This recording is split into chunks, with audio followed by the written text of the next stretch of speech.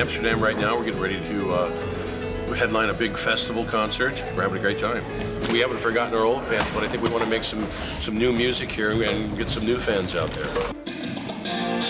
Hi, I'm Elliot Scheiner, and I'm producing the current Toto record. Hello, everybody. Remember us? We've been to your house, we've ate your food. We are Toto. Rosanna, Rosanna. You know, we are Steve and Mike and David and Simon. I mean, Five with Jenny. My name is Jenny Douglas McRae. My name's Simon. I'm just the guy next door. I'm Mike Porcaro. My name is David Paich. Ladies and gentlemen, the desire of the world, Steven Lukather. Tangerine orange leisure suit. Wow. That's how I want to be remembered. We want to debut some new material for you. Is that all right?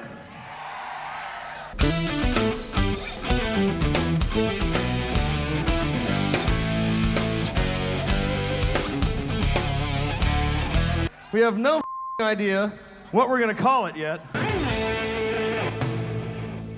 They wrote an instrumental while I was away skiing, and they've so titled it, of which I have to change. This temporary title is Dave's Gone Skiing. If it makes it out to the stores, you know I failed in my duties to change the, the correct title.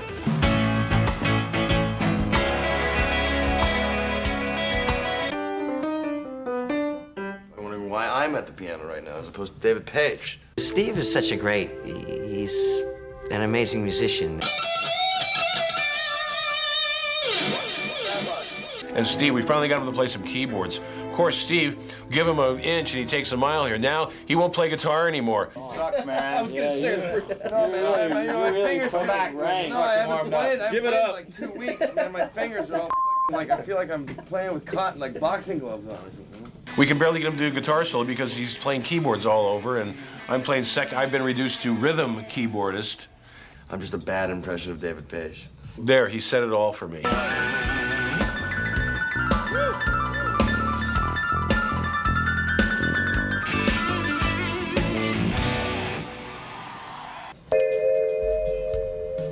I like having all mixtures of people. Some English, black, white, all this stuff. I think it adds to the sounds. Englishman in the band. Ooh, Did you ask them what is it like to have a tea bag in the band? God bless England. He says Calliope, I say Calliope, you know?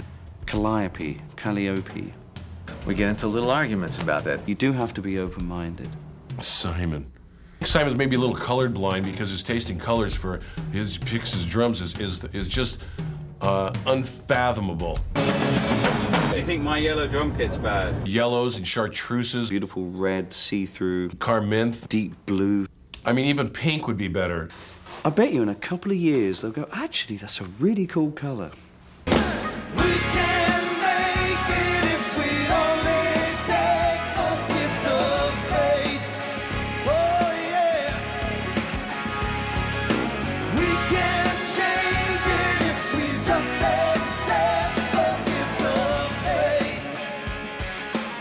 You're making a record, your favorites change all the time. Uh, the first tune we cut, Gift of Faith, I thought was great. The new album. It's, it's a very organic thing. What you hear is basically what you see. All this pain surrounding me, hopelessness is all that I see now. It's fresh for Toto. It's not so electric. A lot of acoustics, yeah. Bringing back a lot more piano, Hammond, uh, Wurlitzers, uh, organic keyboard instruments, and we can call those electric instruments organic.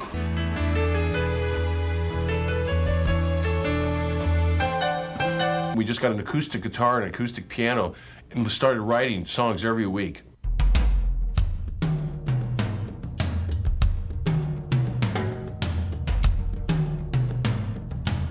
Lyrically, we've been working with Stan Lynch.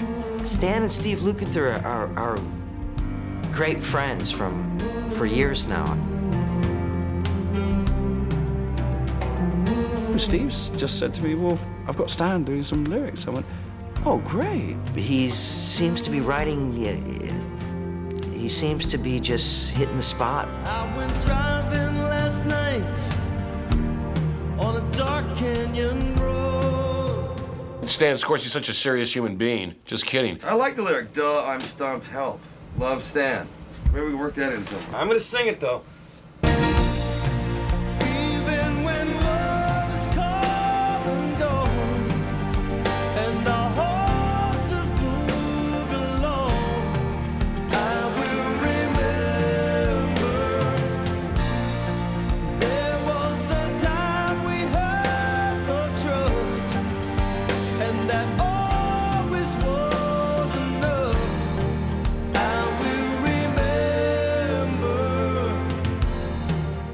Him and Lukather together are like uh, a perverted Laurel and Hardy.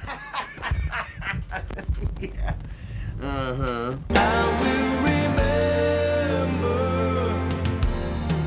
I will remember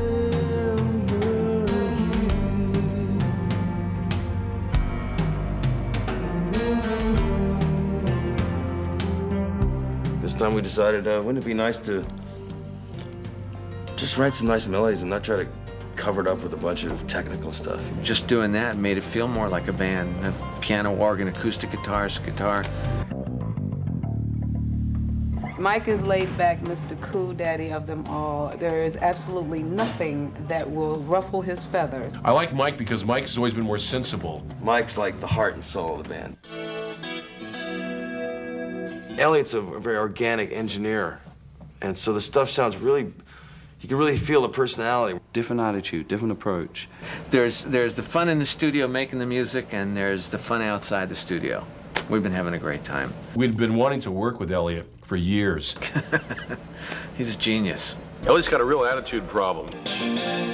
Right now, we're working on the 13th song, which is a lot. We cut a tune called Slipping Away, and, and I think now that's my favorite. When you slipped away, I can see your face. Nothing's gonna shake me. Slip away. Dave's role is to see how late he can be every day. When Dave was late, we decided to have Steve. Let's hey, let's record. Dave can always add his part on, or we can at least learn the tune by the time Dave arrives. And Dave's like, he strolls in just at the right time. We call it Dave Light Savings Time. Today is just another one of those days.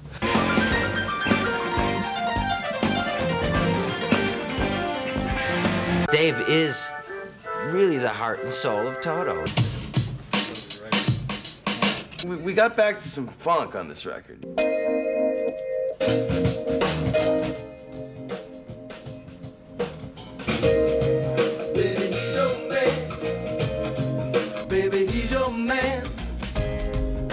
Baby, he's your man. Baby, he's your man. Next. Steve, Mr. Impatient, I call him. One of the best guitar players ever. Yeah, man.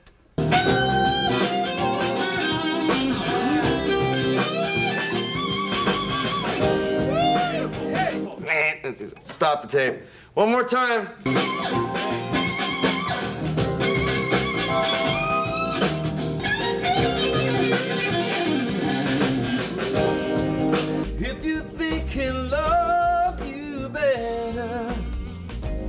And your wishes his command,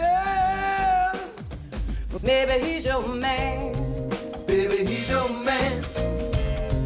Baby, he's your man. Baby, he's your man.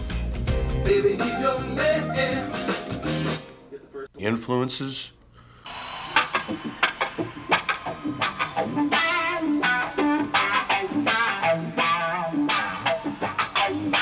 Yes, everything I write has a little bit of influence, and I, and, and I don't mind making it obvious and paying homage to him, you know?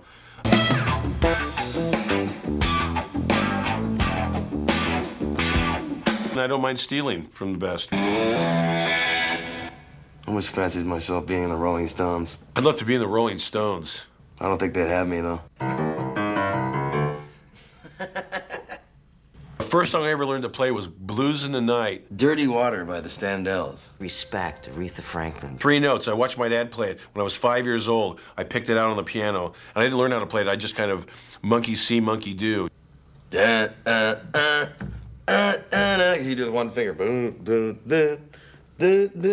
Some guy down the street had a band and he showed it to me. I was like seven, eight years old. Toto doesn't do big 18 month long mega tours and stuff. And we're going to be touring probably for the next year and a half, maybe two years. My idea of like a tour is about three weeks. We got a, the better part of a year. We're planning on going out. It's so funny because you'll probably hear five different versions from my version from everybody else. You know, they'll say, "Yes, we're going to be touring for the next 18 months. We have it all set, and it's all this." You know, you're totally different stuff from me. You know.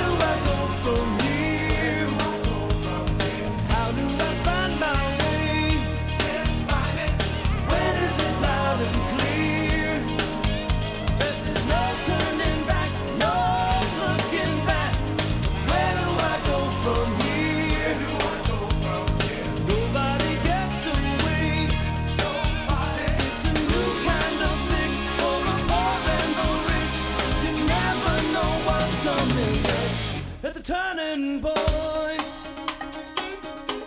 Still are Toto, and I think we're still growing. Is the point? We're still evolving, and I think people are going to be pleasantly surprised.